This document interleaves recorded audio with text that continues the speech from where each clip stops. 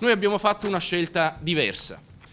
Quel governo per il quale noi abbiamo scelto di far nascere un nuovo movimento politico con tutte e due le gambe e con la testa nel centro-destra, quel governo presieduto da Enrico Letta oggi viene fatto cadere e la sua esperienza viene conclusa in esito ad uno scontro interno al Partito Democratico e in esito ad una eh, evoluzione della leadership del Partito Democratico. È arrivato un nuovo segretario del PD e eh, di fatto stasera cade il governo a guida del Partito Democratico.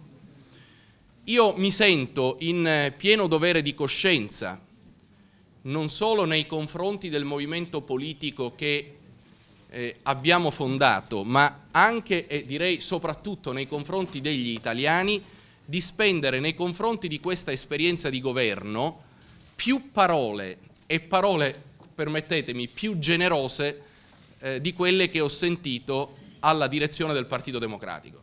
Permettetemi dunque di dire che questo governo, presieduto da un esponente come Enrico Letta, un esponente del PD come Enrico Letta, avrebbe meritato di ricevere parole più generose da parte del Partito Democratico. Detto questo mi permetto di sottolineare per flash alcuni risultati.